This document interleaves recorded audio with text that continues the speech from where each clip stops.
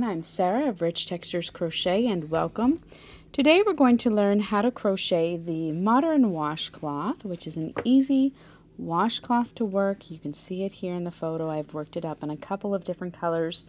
This uh, washcloth measures approximately 8.5 inches by 8.5 inches and you're going to need about 100 yards of your favorite uh, worsted weight cotton. You can see it here shown in the uh, Handicrafter Cotton by Yarnspirations. Today I'm going to be working it in a couple of colors with Pima Cotton by Lion Brand. And uh, you're also going to need a 5 millimeter crochet hook and then as well a yarn needle and pair of scissors for finishing off. The free written pattern can be found on my blog at richtexturescrochet.com and it's free to follow there on my site. You may wish to follow along. So thank you so much for joining me while you're here. I invite you to subscribe, take a look around. There's other washcloth patterns here, as well as free stitch tutorials and many other uh, items for you to browse as well. Our washcloth pattern today is worked in rows. You're going to start by taking your color A and by making a slip knot. You're then going to work a foundation chain and for our foundation chain today I chained a total of 30. If you would like to change the size of your washcloth you're more than welcome to and you can use any stitch multiple to do that.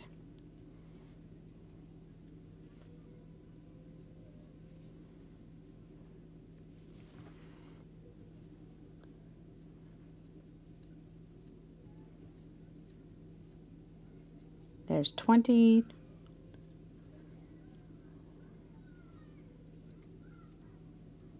And 30.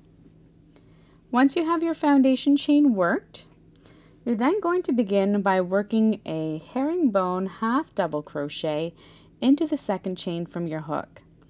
To work the herringbone half double crochet, you're going to yarn over, insert your hook into that second chain, yarn over, draw up a loop and draw that loop through the first loop on your hook. You're then going to yarn over again and pull through two loops. You're going to work herringbone half double crochets all the way across. So yarn over, insert your hook into the next stitch, yarn over, draw up a loop, and draw it through the first loop on your hook. Yarn over and pull through two. Continue working those herringbone half double crochets all the way across your foundation chain. At the end of your row one, you're going to chain one and turn your work. We're continuing to work in our color A and you're going to once again work another row of herringbone half double crochet stitches. Your chain one does not count as a stitch, so into the top of this first stitch, yarn over, insert your hook, yarn over, drop a loop, drawing it through that first loop on your hook, yarn over and pull through two. Work your herringbone half double crochet stitches all the way across. In your final stitch, you're going to switch to color B, which I'll show you how to do as I come across. When you come across at the end of row 2, you'll want to switch to your color B. To switch to your color B with one stitch remaining, yarn over with your color A and insert it into that final stitch. You're then going to yarn over and drop a loop, pulling it through that first loop on your hook. Drop your color A, pick up your color B, place it on your hook, and pull through. Because I'm working an edging on this washcloth, it's not necessary to fasten off and weave in at the end of each color change. We're just going to leave it here and then pick it up on our return. So then chain one with your new color B and turn your work. For uh, the next two rows, rows three and four, you're going to do just as you did for your first two rows and work herringbone half double crochet stitches into each stitch all the way across. At the end of your work, chain one and turn and repeat. At the end of row four, you're going to be switching back to your color A, and I'll show you once again how to do that when I come across. So work two more rows of herringbone half double crochet stitches. At the end of row four, going to yarn over. We want to switch color into in this final stitch. So yarn over in your color B, insert your hook into the final stitch, yarn over, drop a loop, yarn over, pull it through that first loop, drop your color B. Your color A should be just hanging down here at the side. You can then pick it up and place it on your hook and pull through. You don't want it to be too loose you don't want to have loose threads along the side even though we're working over it. You also don't want it to be too tight because you don't want it to bunch. So just carefully pull it up the side. Chain one and turn your work and then once again work herringbone half double crochet stitches for two rows, rows five and six all the way across and at the end of row six change back to your color B. You are going to repeat uh, these two or four rows, rows three, four, five, and six, a total of five more times, and then you're going to meet me back here. Once you're finished all of your repeats, you're just working two rows in each color. Uh, you should have uh, a square uh, washcloth that we're then going to work in edging on. So go ahead, repeat through to row, the end of row 26, and then meet me back here. At the end of row 26, this is what your washcloth is going to look like. You should have uh, six of your color B stripes and end off on your color A once again.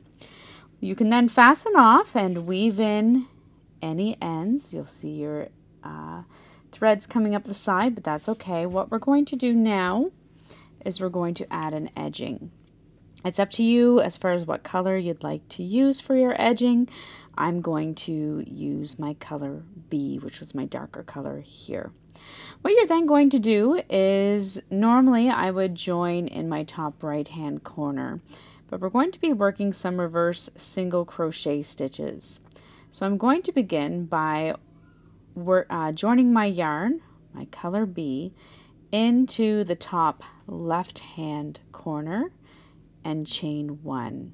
Okay, there's no right or wrong side of your washcloth. It is reversible. So just join in the upper left hand corner.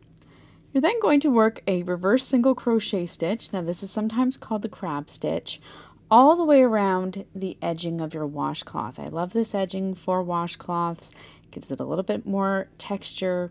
It's a tough stitch uh, and just great for working as an edging on a project such as this. So what we're going to do is instead of working from right to left, we're going to work from left to right. You're going to bring your hook back and insert it into the previous stitch. Yarn over, draw up a loop, and yarn over and pull through two. I'm just working over top of my tail to make it easier to sew in later. You're going to repeat that all the way across the top. So insert your hook into the previous stitch, yarn over, draw a loop, yarn over and pull through two. Repeat that all the way across the top of your washcloth. And what you'll see is that the stitch is kind of twisting and giving it this corded ridge look. Again, it's just adding a little bit of texture and it is a tough stitch, so I just love it. So keep going all the way across the top of your washcloth until you come to your next corner stitch. Just like so. It may be tricky at first to kind of keep uh, your tension straight, but as you work the stitch, it does get easier. Just keep working all the way across.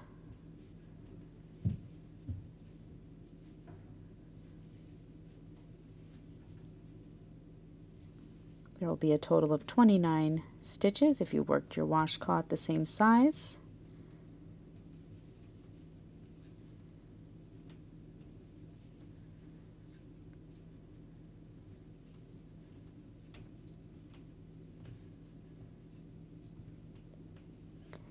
I'm almost to my first corner stitch.